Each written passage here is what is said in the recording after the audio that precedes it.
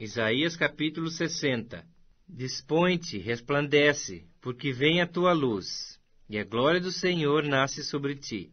Porque eis que as trevas cobrem a terra, e a escuridão os povos, mas sobre ti aparece resplendente o Senhor, e a sua glória se vê sobre ti.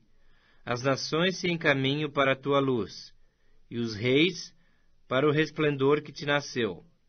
Levanta em redor os teus olhos e vê. Todos esses se ajuntam e vêm ter contigo. Teus filhos chegam de longe, e tuas filhas são trazidas nos braços. Então o verás e serás radiante de alegria. O teu coração estremecerá e se dilatará de júbilo, porque a abundância do mar se tornará a ti, e as riquezas das nações virão a ter contigo a multidão de camelos te cobrirá.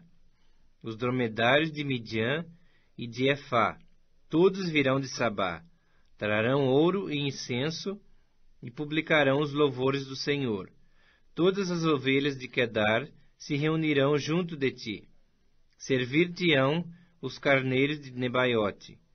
Para o meu agrado subirão ao meu altar, e eu tornarei mais gloriosa a casa da minha glória.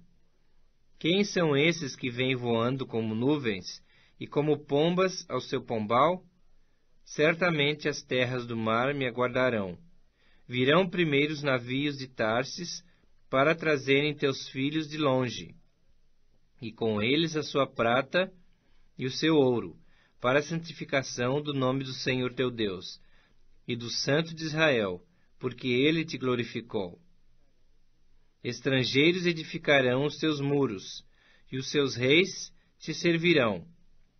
Porque no meu furor te castiguei, mas na minha graça tive misericórdia de ti.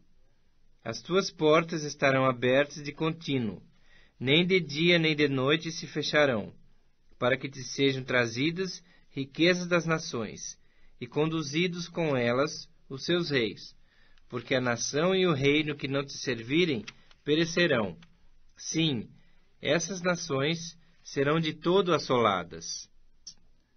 A glória do Líbano virá a ti, o cipreste, o olmeiro e o bucho, conjuntamente, para adornarem o lugar do meu santuário, e farei glorioso o lugar dos meus pés. Também virão a ti, inclinando-se, os filhos dos que te oprimiram. Prostrar-se-ão até as plantas dos seus pés. Todos os que te desdenharam, que chamar-te-ão a cidade do Senhor, a Sião do Santo de Israel. De abandonada e odiada que eras, de modo que ninguém passava por ti, eu te constituirei glória eterna, regozijo de geração em geração. Mamarás o leite das nações, e te alimentarás ao peito dos reis. Saberás que eu sou o Senhor, o teu Salvador, o teu Redentor, o poderoso de Jacó. Por bronze trarei ouro, por ferro trarei prata, por madeira bronze, e por pedras ferro. Farei paz os teus inspetores e justiça os teus exatores.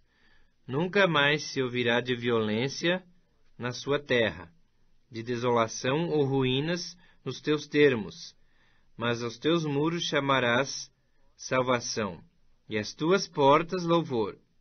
Nunca mais se servirá o sol para a luz do dia, nem com o seu resplendor a lua te alumiará. Mas o Senhor será a tua luz perpétua, e o teu Deus a tua glória.